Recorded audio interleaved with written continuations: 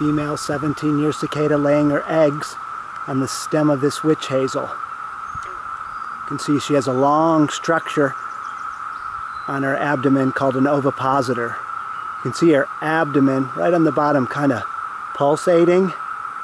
That means she's pushing eggs out through that little tube into the tree. There's the ovipositor.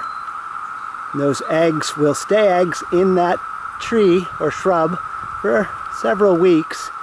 Then tiny little nymphs will hatch out of those eggs and drop down uh, to the forest floor or the meadow floor and then they will burrow down into the soil where they will live for the next 17 years sipping on the sap from trees.